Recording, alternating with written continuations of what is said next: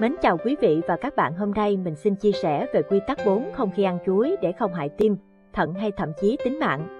Chuối là một trong những loại quả bổ dưỡng và thông dụng đối với nhiều người. Tuy nhiên, nếu ăn chuối không đúng cách có thể gây ra nhiều tổn hại nghiêm trọng đối với sức khỏe. Giá trị dinh dưỡng của chuối Theo các bác sĩ dinh dưỡng, chuối là một trong những loại trái cây phổ biến được tiêu thụ rộng rãi nhất trên thế giới.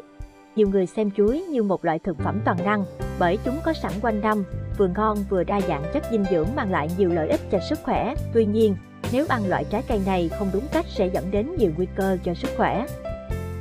Theo bác sĩ Bùi Hùng Mạnh, Trung tâm dinh dưỡng thành phố Hồ Chí Minh, một trái chuối cỡ vừa, khoảng 80-90 g sẽ cung cấp 290 mg kali, tương ứng với 10 đến 15% nhu cầu kali hàng ngày.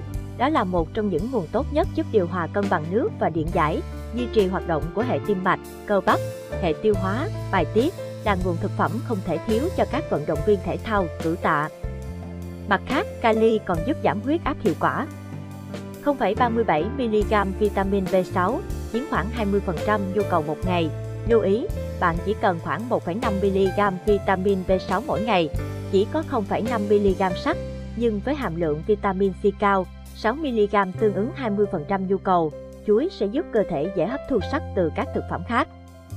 Có khoảng 3mg chất xơ, chiếm hơn 10% lượng chất xơ được khuyến cáo hàng ngày, mang lại nhiều lợi ích cho hệ thống tiêu hóa. 4. Không khi ăn chuối để không hại sức khỏe, không giống như những trái cây khác sau khi được thu hoạch. Chuối vẫn tiếp tục chín nên cần được bảo quản ở nhiệt độ phòng và sẽ tốt hơn nếu được bảo quản lạnh vì nhiệt độ càng ấm, chuối sẽ càng nhanh chín.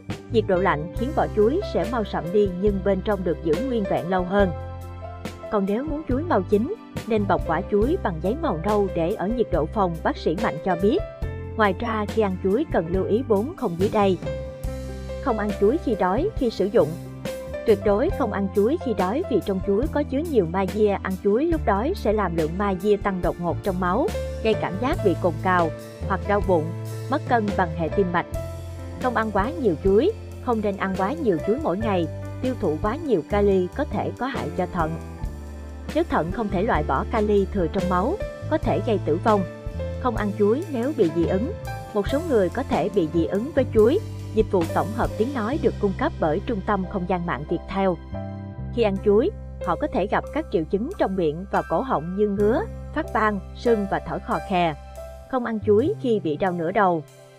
Không những vậy, chuối còn có thể gây ra chứng migraine, do đó những người mắc bệnh đau nửa đầu không nên ăn hơn nửa trái chuối một ngày. Nguồn sức khỏe và đời sống, thông tin chia sẻ đến đây là hết rồi. Cảm ơn quý vị và các bạn lắng nghe. Nếu thông tin bổ ích hãy bấm vào nút đăng ký để nhận được những thông tin hay nhé. Mến chào và hẹn gặp lại.